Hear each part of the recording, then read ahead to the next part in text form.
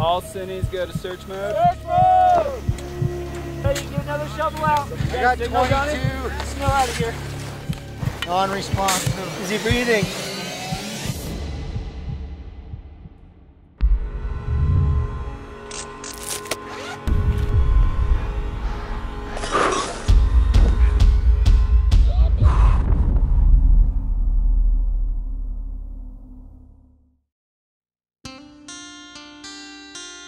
IPRW is something we started probably six, eight years ago. We bring all the production crew and riders together and we train on um, avalanche safety, first aid, and other challenges that we might face in the field.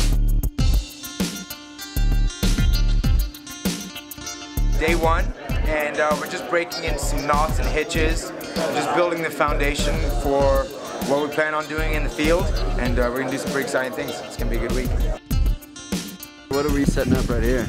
This is called a dead man, and it's an anchor. We use this a lot to find the edge of a cornice, finding that perfect spot if we're gonna dig a pit on the slope, and then in extreme situations where you're dealing with cliffs that you gotta go over. The anchors are something you really need to know. Um, it's very simple, but it's also, there's no room for error. Today is all about first aid, which is hopefully skills we never need to, to use, but essential for uh, something goes down in the backcountry, how to save someone. The main areas I'm worried about are pretty much neck to knee. I don't see bleeding, I don't see bones sticking out. Done.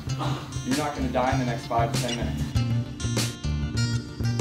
We're doing a couple of different things, one of which is incorporating all of our rope work, actually using a manufactured sled to put the patient in, rig up a pulley system to actually lift them up a steep slope, turn around, secure them at the top, and lower them back down.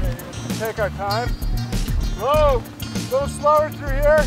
The last couple of years I've been riding with these up and coming kids, Frank and Jimmy, and uh, last year we were out and Jimmy had a really uh, scary fall.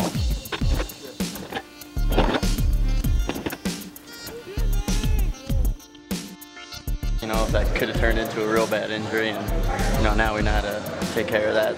Have our evacuation plan to get the person out of there. You know, I want my riding partners to be as smart as possible because they might need to be rescuing me someday. Last day, last scenario. This is uh, kind of our big last final scenario where we try to put everything together. So it's really important that we do this and kind of tie it together so everybody's kind of practiced because the likelihood of it happening is actually pretty real.